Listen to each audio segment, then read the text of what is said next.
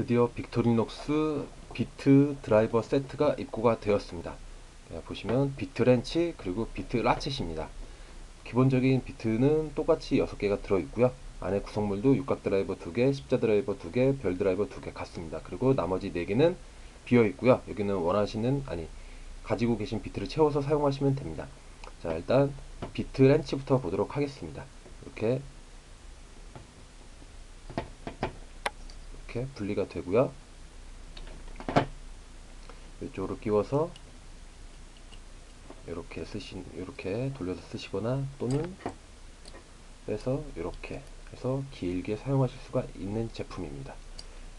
예, 비트 라쳇 같은 경우는 이 렌, 렌치를 좀 더 발전시킨 모델인데요.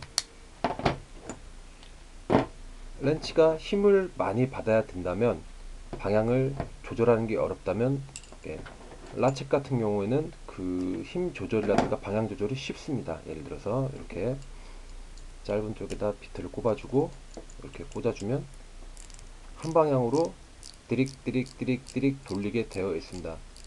그리고 돌을 돌려서 반대로 꼽아주시면 이번엔 반대 방향으로 잠글 때 풀을 때 사용이 가능합니다. 그리고 비트만 따로 이 부분에 연결해서 사용이 가능합니다. 이렇게 풀을 때 그리고 잠글 때 그리고 이 긴 방향으로도 사용이 가능해서 이렇게 길게 해서 힘을 받고 돌릴 수도 있습니다.